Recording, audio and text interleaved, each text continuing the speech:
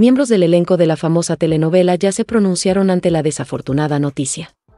Germán Tobar Celeita interpretó al abogado José Ambrosio Rosales, fiel seguidor de Patricia Fernández.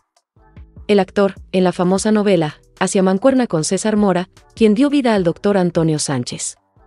La novela famosa, Yo soy Betty, la fea, está de luto, pues perdió la vida uno de los integrantes del elenco, Germán Tobar Celeita, quien interpretó al abogado José Ambrosio Rosales, seguidor de la peliteñida Patricia Fernández.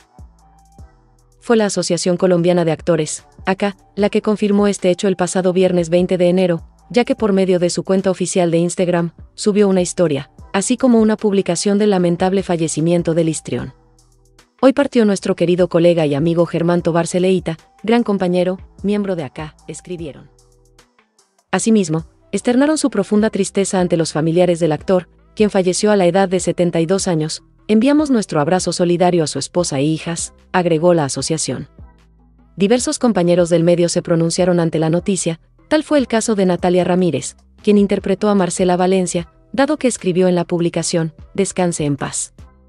Hasta el momento se desconocen las causas del fallecimiento, sin embargo, Germán será recordado por su gran participación en una de las telenovelas más famosas de los 90, Yo soy Betty, la fea.